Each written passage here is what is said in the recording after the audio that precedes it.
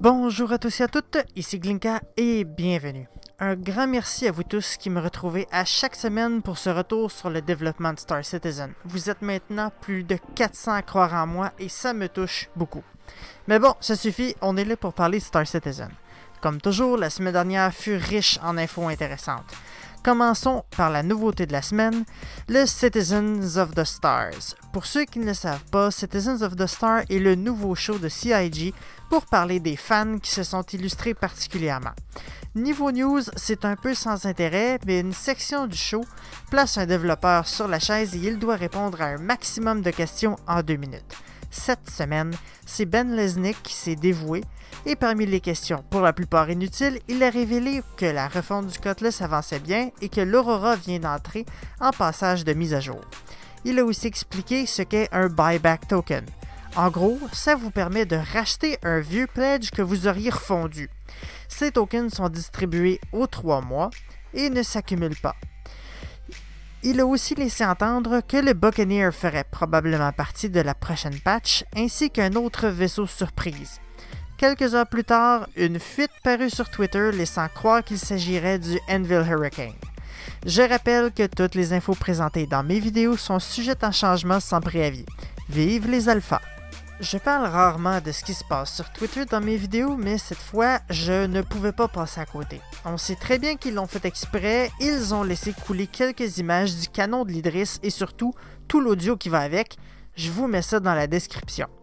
Autre info intéressante, la dernière newsletter nous confirme qu'à partir de la 2.6.1, nous aurons des serveurs régionaux en Europe, en Australie et évidemment aux États-Unis. Félicitations aux résidents d'Europe et d'Australie, vous aurez des pings décents. Parlons maintenant de l'ATV. Chris étant parti en Europe, c'est Josh Herman, directeur artistique personnage, qui accompagne Sandy Gardiner à l'animation. Brian Chambers, directeur du développement à Foundry 42 à Frankfurt, nous raconte que son équipe s'est encore agrandie de 5 personnes supplémentaires. L'équipe des armes ont été plutôt occupées à retravailler certaines armes de Klaus and Werner, comme le Gallant, le Harrowhead et le Arclight. Ils sont en préparation pour le système d'attachement, même chose pour les armes du fabricant Castak Arms. Pour les vaisseaux, ils ont commencé à travailler sur un nouveau manufacturier, Nicebridge Arms, et ont commencé à assembler de nouvelles armes l'équipe Assurance Qualité a travaillé à valider la quantité de dégâts que les joueurs peuvent supporter. Ils ont testé tous les endroits du corps avec toutes les armes et à toutes les distances. L'équipe d'environnement travaille de concert avec l'équipe d'ingénierie pour améliorer le visuel. Ils ont fait beaucoup de progrès avec les lunes procédurales, de loin comme de très près. Ils ont aussi fait des progrès sur la végétation. Ils peuvent maintenant intégrer des arbres avec des branches et des troncs, alors qu'ils étaient limités à des feuilles qui bougeaient. Ils ont aussi développé des outils pour gérer les des particules relativement à l'environnement, au terrain et à plein d'autres patentes à. Ceci conclut la mise à jour du studio de Francfort.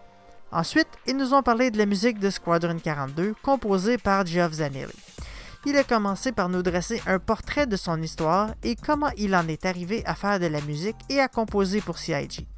Je n'étais pas certain que ça vous intéresserait vraiment, alors j'ai décidé de ne pas en parler. Si ça vous intéresse, dites-le dans les commentaires. S'il y a assez de commentaires, je ferai une vidéo juste pour ça.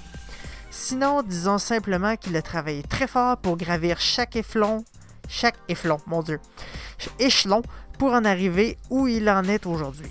Plus tard, il explique que le Music Logic System, le système de logique musicale, a continué d'évoluer. Il réagit différemment en fonction du nombre d'ennemis, de l'état du vaisseau et de beaucoup d'autres facteurs. Le nombre d'émotions que ce système est capable de produire musicalement, bien sûr, a lui aussi continué d'évoluer. Il explique que c'était un défi de composer de façon modulaire pour que ce genre de système soit possible. Il faut avoir cela en tête au tout début. Chaque morceau doit pouvoir être travaillé comme une cellule isolée, tout en étant conçu pour s'agencer avec n'importe quelle autre cellule.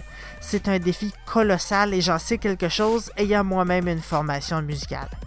Si vous êtes au milieu d'une grande mélodie et vous devez tout changer pour suivre la situation du joueur, c'est quelque chose d'extrêmement abrasif à faire d'un point de vue musical. Un changement d'émotion veut dire un changement de gamme, et toutes les gammes ne sont pas compatibles entre elles. Certains intervalles entre deux sons peuvent être extrêmement irritants pour l'oreille et cette irritation ruine complètement l'émotion pour celui qui écoute. La solution était de trouver des passages clés dans les cellules musicales, comme la fin d'un crescendo, et de débuter un changement d'intensité à cet endroit précis. On élimine ainsi le besoin de passages de transition qui euh, sonnent la canne, comme on dit ici. Un autre problème qu'ils ont rencontré concerne les pièces cinématiques prévues. Il fallait s'assurer que le système dynamique allait approcher ces moments clés de façon harmonieuse et ils ont travaillé très fort à ce que le système reconnaisse ces parties cinématiques et en tienne compte pour que ça fonctionne très élégamment. Ceci conclut le débrief du ATV de jeudi dernier. Merci d'avoir regardé. Si vous avez aimé, un petit like, un commentaire, surtout n'oubliez pas de vous abonner et de me suivre sur les médias sociaux. Tous les liens sont dans la description. C'était Glinka, je vous dis merci et à la prochaine.